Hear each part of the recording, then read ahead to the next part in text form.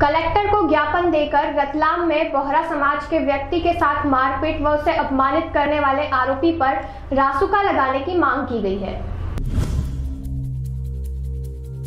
रतलाम में गत दिवस बोहरा समाज के व्यक्ति के साथ मारपीट का वीडियो वायरल हुआ था। मारपीट से उज्जैन के बोहरा समाज जन में आक्रोश है। मारपीट के विरोध में सोमवार को उज्जैन दाऊदी बोहरा समाज के मुल्ला हातिम अली हरवाला हाजी मुल्ला कुतुब फातिमी, शबीर हुसैन एडवोकेट, कायद जोहर तस्कीन और कायद जोहर कागज़ी सहित समाजजन ने कलेक्टर आशीष सिंह को ज्ञापन दिया।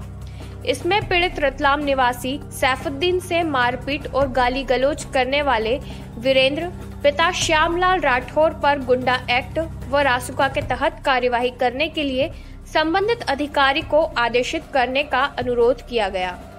कुतुब फातेमी ने बताया कि वायरल वीडियो मारपीट के साथ ही व्यक्ति की टोपी को पैरों से रोदवाया।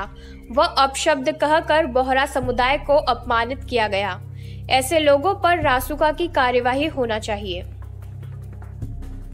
जो बोहरा समाज का जो प्रतीक है टोपी उसके साथ उसने बहुत बदतमीजी की लात मारी उसको और रातों से ढूंढा और समाज को भी बहुत अपशब्द कहे। इस संबंध में हम संभागायुक्त महोदय को हमारी तरफ़ से रोष व्यक्त करते हुए उनसे निवेदन करें कि ऐसे गुंडा तत्वों के खिलाफ जो माननीय मुख्यमंत्री जी हमेशा ये कहते हैं कि गुंडों को नहीं पनपने देंगे तो उस पर भी उसी तहत कार्रवाई की जाए।